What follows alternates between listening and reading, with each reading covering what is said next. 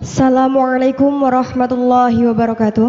Allah wabarakatuh. Perkenalkan, saya Afiatul Fauziah dari Prodi Ilmu Al-Quran Tafs kelas A. Izin bertanya terkait ilmu tasawuf, Syekh. Saya memohon penjelasan terkait pengertian dan penyebutan dalil Al-Quran dan hadis tentang ilmu tasawuf dan pentingnya belajar ilmu tasawuf.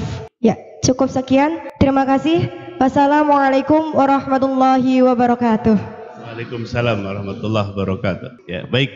Ini pertanyaan yang pertama mengenai definisi tasawuf ya termasuk dari Quran dan hadis. Ya, kita ambil definisi banyak sekali definisi ilmu tasawuf.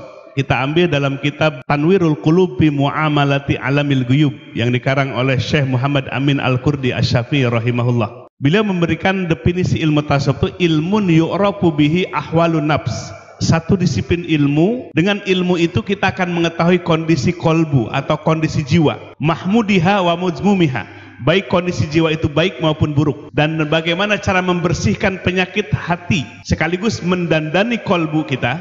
Dan bagaimana cara proses kolbu kita supaya selalu mendekat dan kembali kepada Allah Subhanahu wa taala. Ini definisi ilmu tasawuf. Jadi ilmu dengan ilmu tersebut kita akan mengetahui kondisi kolbu baik kolbu kita baik maupun kolbu yang buruk. Bagaimana cara membersihkan kolbu yang buruk dan mendandani kolbu kita dengan sifat yang terpuji dan bagaimana kolbu kita melangkah takorub, mendekat dan mengenal kepada Allah Subhanahu wa taala. Adapun dalam Quran dan Sunnah banyak ilmu-ilmu tasawuf yang disebutkan. Misalnya dalam Al-Quran, Qad aflaha man tazakka. Sungguh bahagia orang yang senantiasa membersihkan jiwanya, membersihkan kolbunya. Seperti tadi diungkapkan, wa yuzakkihim, mensucikan kolbu. Nah, jadi dalam Al-Quran banyak sekali. Termasuk Allah subhanahu wa ta'ala menjelaskan, Kul innama harrama rabbiyal pawahisha ma minha wa ma batan. Katakanlah sesungguhnya aku hanya mengharamkan yang pahsa, ada pahsa yang zohir, ada pahsa yang batin. Pahsa yang batin sepakat para ulama dan para tafsir, pahsa yang batin itulah yang disebut dengan al-amrod al-kolbiyah, penyakit-penyakit hati.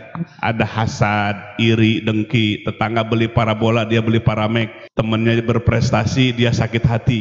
Ya, itu kata anak sekarang SMS. Senang melihat orang lain susah, atau sebaliknya susah melihat orang lain senang. Itulah gambaran penyakit hati namanya hasad. Nah, jadi Quran mengangkat tentang ilmu tasawuf termasuk pembersihan kolbu kita dari penyakit-penyakit hati. Nah, inilah definisi yang mudah tentang ilmu tasawuf. Gambaran ilmu tasawuf adalah ilmu yang membidik tentang kolbu, baik kolbu dalam keadaan bersih maupun kotor, bagaimana kolbu yang kotor dibersihkan, bagaimana kolbu itu didandan dengan sifat-sifat yang terpuji dan bagaimana kolbu kita selalu hijrah, melangkah, mendekat kepada Allah Subhanahu wa taala.